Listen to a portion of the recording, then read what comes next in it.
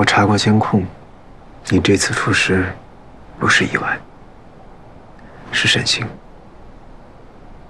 他故意拿走了正在维修的牌子。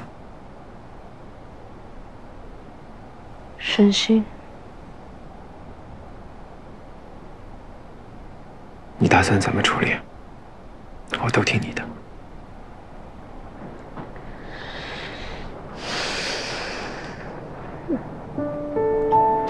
生死的事情，你就先别出面了，我想自己解决。那怎么行呢？还差点害你连命都没了。哎呀，俗话不是说吗？先律己后律人。他会这样做，肯定有我自己的原因。我呢，对办公室文化太不敏感了，才会把职场人际关系搞得一团糟。撤司的事情也是对我的提醒，所以我想自己先试着解决一下，好不好嘛？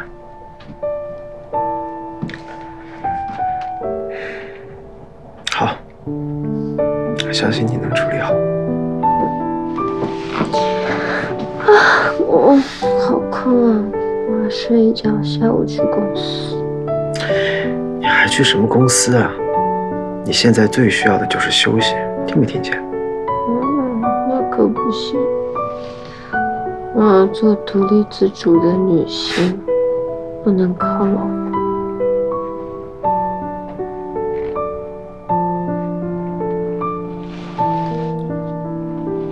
老什么？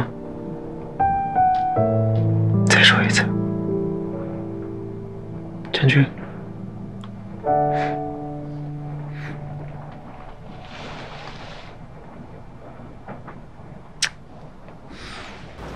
将军，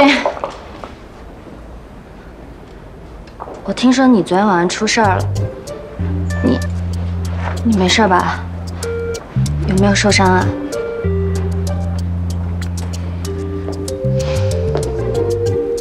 我很好奇，你在做这件事情的时候，有没有考虑过我？你在说什么啊？听不懂。听不懂。是你故意移走了电梯维修中的牌子，敢做不敢当吗？你胡说！你有证据吗？你们两个跟我来办公室。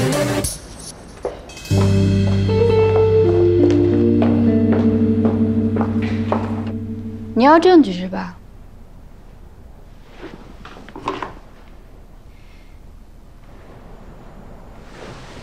自己看看，看看这照片上的手链是不是特别眼熟？强总，强总，对不起，我错了。够了，我不想听你废话。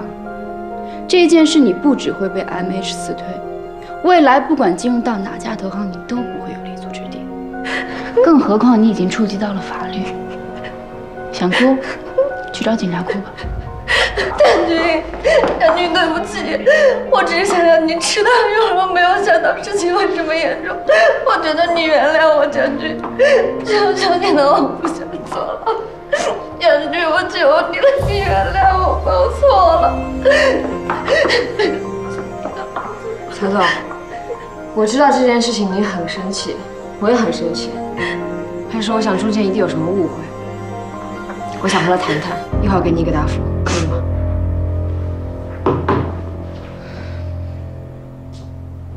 谢谢乔总。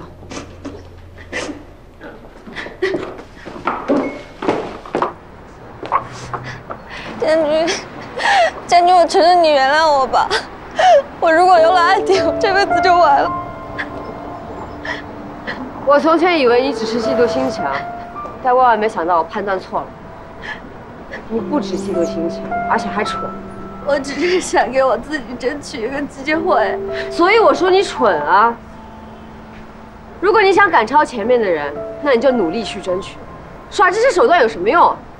你有没有想过，如果昨天我真的出事了，你怎么逃得过法律的制裁？你的父母怎么办？你的未来怎么办？我知道，我现在只是给你道歉已经没有什么用了。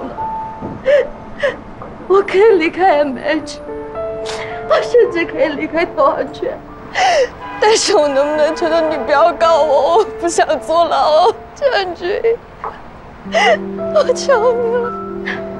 哭哭有什么用啊？该哭的人是你吗？而且，我有说要追究你什么吗？